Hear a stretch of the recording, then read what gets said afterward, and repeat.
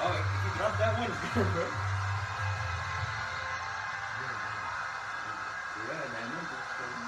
Yeah, man.